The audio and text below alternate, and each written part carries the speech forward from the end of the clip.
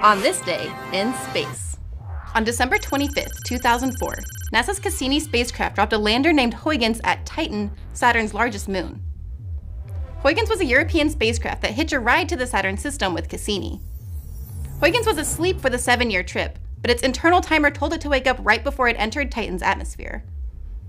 After it parted with Cassini, the descent to Titan's surface took three whole weeks. It spent two and a half hours parachuting through Titan's atmosphere and sending data to Cassini, which beamed that data back to Earth. After the touchdown, it transmitted data for another hour and a half before its batteries died. The data and images from Huygens revealed that Titan is one of the most Earth like places in the solar system.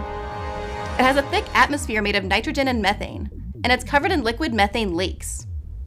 Huygens even found organic molecules on Titan. Scientists now think that Titan may be the best place to look for life in the solar system.